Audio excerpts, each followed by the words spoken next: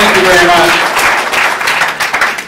I can't tell you how much of a pleasure this is. You know, um, I was thinking about it through the campaign, and uh, you know, a good number of you folks have been with us uh, in now the fifth campaign, and this was the tiebreaker.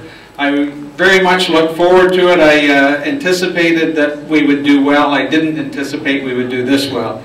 And the only reason we do is because, um, first off, between elections, I've got this great team of people that work in our constituency offices and in Ottawa that take great care of, of the people in Oxford. And, uh, you know, it, it, makes it so much easier and better for me when I know that uh, the people here are well taken care of, and I know they are. And then when comes election time, we got this huge body of people that are here and others that can't be here that come out every time and work for us and volunteer and bring out the vote.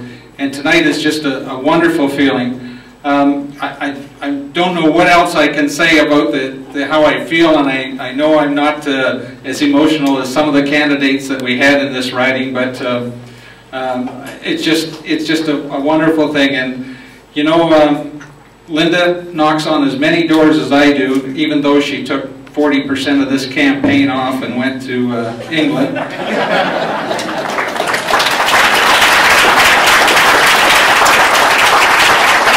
But I have to thank, her for that and, uh, and also the rest of our family who are always there and support us. And, uh, you know, um, as we go forward in this, and I look at the numbers, they're, uh, they're not where we would like to be, obviously, in majority territory, but they're not far off. And I think we'll go back with a, a strengthened party. Um, goodness knows what each of our roles will be there, but my role is to put Oxford first, and that's what, what I have done, and that's what uh,